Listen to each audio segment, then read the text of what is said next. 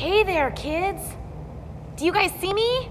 I see you too. Can you guys do that? Can you guys put spy goggles on? Yeah, that's what the story's about today. That's right.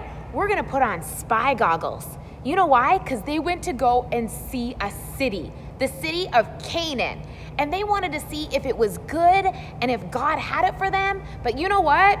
They sent 12 spies. And since we don't have 12 fingers, we have to use our fingers in a special way. Are you guys ready? Yeah? Okay, let's try it. Ready? Hold up two fingers and then one finger, and that's 12. Okay? So there were 12 spies that went to spy on Canaan. Now, 10 weren't good because they didn't trust God. But two did trust God and they get a thumbs up. Okay, good job. All right, spy goggles again. Let's see them. Oh, you guys have got that down. Good job. All right, now a number 12. I know, kind of weird, right? That's right. 12 spies went to go and spy on Canaan. 10 were bad, and two were good. That's right. Good job. Oh, you guys have got this down. All right, let's try it. It's a little bit of a song, and I want to sing it with you guys. Okay, ready?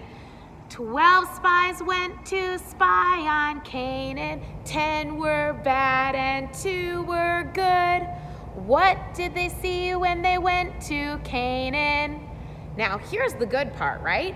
They saw two different things. They saw giants, so go like this big, huge giants, big, strong giants, and they made them kind of scared, okay? And then some people saw big, huge clusters full of grapes.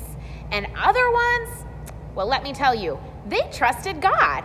They saw that God was in all of it. Isn't that cool? I know. All right, let's try the song again. Ready? Twelve spies went to spy on Canaan. Ten were bad.